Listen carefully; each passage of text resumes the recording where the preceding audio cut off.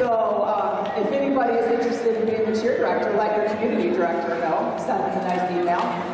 Um, also, so today could not have been possible without many volunteers, from parents that we had volunteer today, um, to parents making signs, doors makers, to the high school varsity and JV cheer team. Thank you very much for your support today in helping us to um, many, many people today. However, today really have if I didn't have a helper.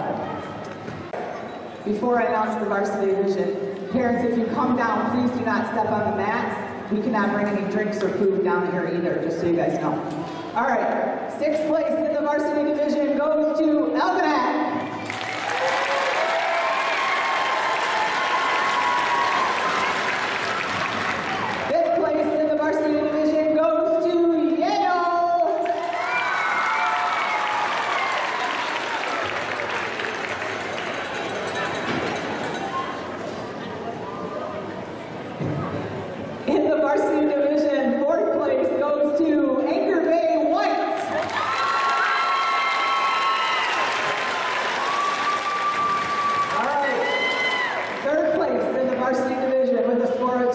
22.5. Go